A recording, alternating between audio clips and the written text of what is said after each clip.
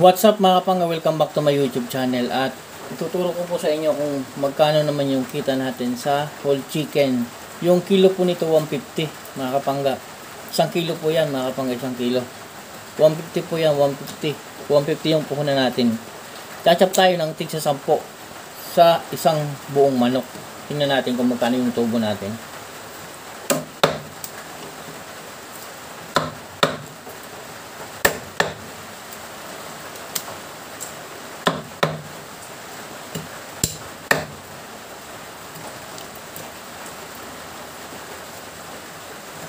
Panoorin nyo ang pag-chop mga kapangga ah.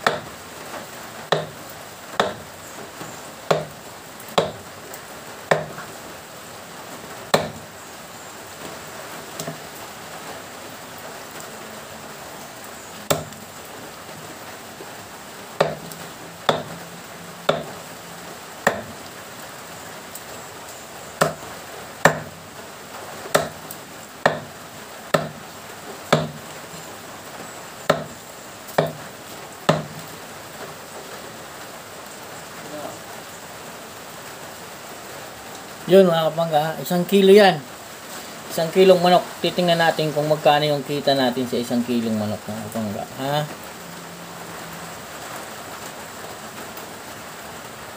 Bilangin natin.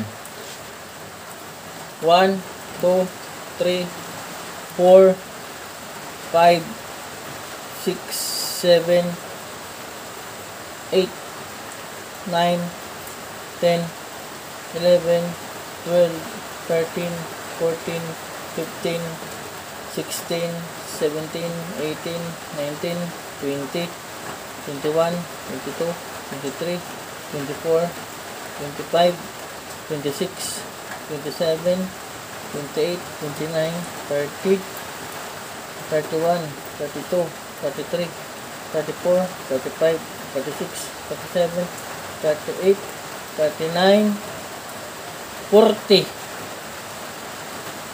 Yung 40 times 10 equals 400 minus 150 may 250 po tayo mga kapangga sa isang kilo. Nag-adjust tayo, nagliit po tayo. Dati malalaki yung 10 na po natin. Ngayon nag-adjust po tayo ng konti. Yan. Idudubol coating lang po natin yan sa harina.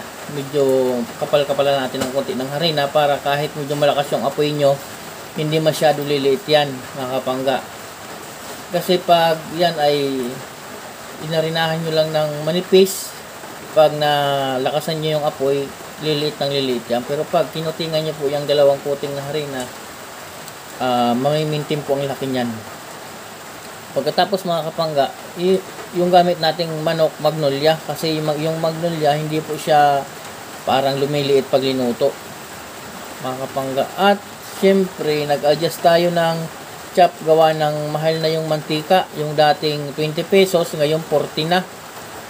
Yung gamit ko na gaas dati nakukuha natin ng 700 ngayon 1128 na pagkatapos yung harina yung dating 600 lang ay 580 lang yung isang sako. Ngayon 830 na yung sako mga kapangga.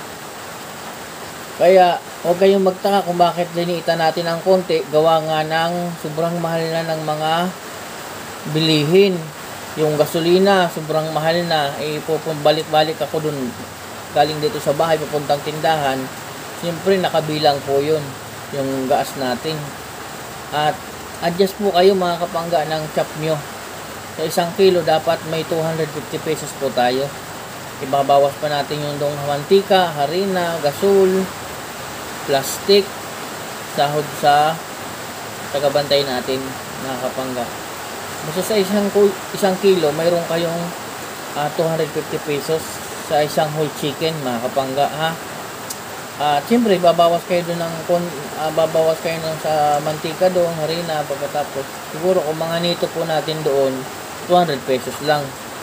Bawas na yung lahat labas na yung sa harina konting harina mantika ganun. Bawas na siguro kung mga 200 pesos o mga o oh, yun. Mga kapangga. Diyan ko lang kayo ng idea para sa lahat ng mga nagtatanong kung may kita pa ba tayo uh, medyo uh, linitan lang po natin mga kapangga gawa ng mahal na ng mga binibil mga bilihin ngayon. Ano mga kapangga yan yung mixing tips ko po sa inyo. Hanggang dyan muna bukas naman mga kapangga gawa naman tayo ng video about sa mga tips na negosyong fried chicken. Subscribe po kayo mga kapangga